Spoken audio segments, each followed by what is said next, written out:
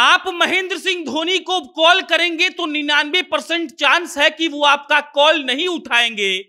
लेकिन उसके बाद विराट कोहली जो धोनी के बारे में कहते हैं, वो सुनकर आपको लगेगा कि धोनी कितने बेहतर इंसान है।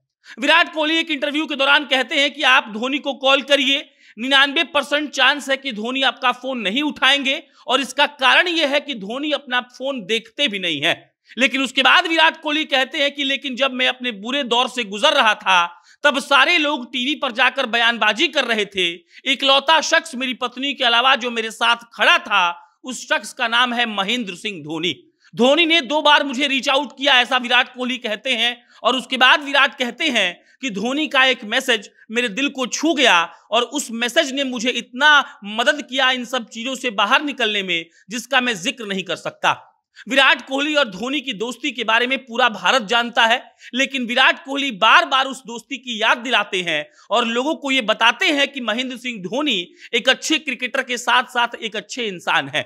और जब हम ये लाइन बोले तो हमको महेंद्र सिंह धोनी का एक इंटरव्यू याद आ गया जिसमें महेंद्र सिंह धोनी ने कहा था, मैं नहीं चाहता कि मुझे लोग एक अच्छे क्रिकेटर के रूप में याद रखें, बल्कि मैं ये चाहता हूँ कि मुझे लोग एक अच्छे इंसान के रूप में याद रखें। विराट कोहली का दो साल का एक ऐसा दौर था, जो सब लोग मानने लगे थे कि विराट कोहली अब खेल नहीं पाएँगे। विराट कोहली में वो बात नहीं रही और विराट कोहली के संन्यास तक की बात कही जा रही थी। जानने वाले जानते थे कि विराट कोहली लड़ाकू हैं, एक दिन लौटेंगे और जब विराट कोहली लौटे तो वही लोग जो उनको उनकी बुराई कर रहे थे, अब विराट कोहली की तारीफ़ में कसीदे पढ़ने लगे। लेकिन विराट कोहली को सब कुछ याद था।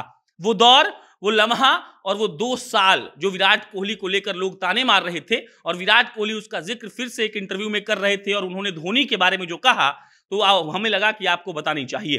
बहरहाल, इस वीडियो में हम इसी बात पर चर्चा करेंगे, लेकिन उससे पहले नमस्कार स्वीकार करिए। मेरा नाम प्रशांत राय है। ये वीडियो रोडवेज़ ऐप के द्वारा प्रायोजित है। रोडवेज़ बिहार की एक ऐसी टैक्सी की कंपनी है जो आपको आधे किराए में पूरा बिहार घुमाती है। आपको पटना एयरपोर्ट से बिहार के किसी भी गाँव में जाना हो, या बिहार के किसी भी गाँव से पटना आना हो, आपको कुछ नहीं करना है प्ले स्टोर पर जाना है रोड बेस का ऐप डाउनलोड करना है, और आप आधे किराए में पूरा बिहार घूम लेंगे।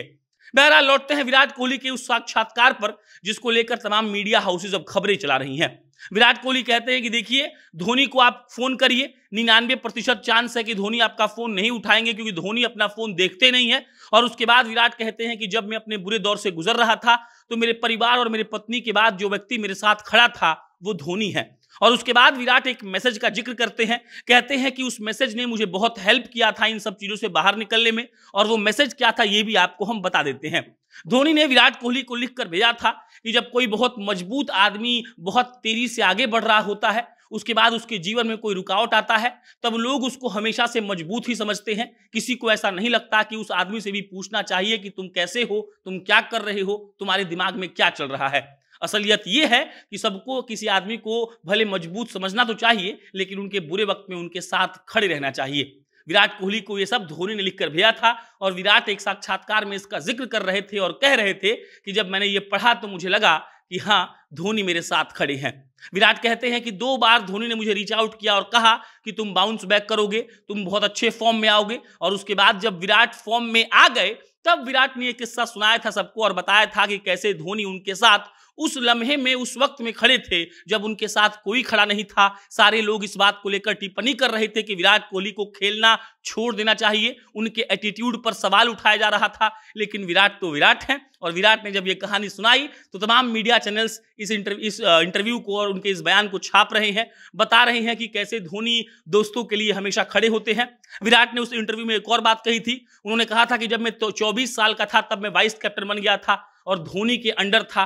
धोनी ने मुझे खेलना भी सिखाया, धोनी से मैंने कप्तानी भी सीखी। और आप याद करिए, जब धोनी ने अपने रिटायरमेंट की घोषणा की थी पंद्रह अगस्त को, तब विराट कोहली ने लिखा था कि you will always be my skipper मतलब ये कि विराट कोहली आज भी महेंद्र सिंह धोनी को अपना कप्तान मानते हैं। और धोनी और विराट की जो ये साझेदारी है, जो ये दोस्ती है, वो इतनी शानदार है कि भारत का हर क्रिकेट फ़ैन चाहता है कि सारे प्लेयर्स के बीच ऐसे ही केमिस्ट्री देखने को मिले, उनका प्यार ऐसे ही बरकरार रहे, ताकि भारतीय टीम और इंडियन क्रिकेट आगे बढ़ सके। बाकी, आप धोनी के बारे में क्या सोचते हैं? कमेंट बॉक्स में लिखे बताइएगा। मेरा नाम प्रशांत राय है। बहुत बहुत धन्यवाद।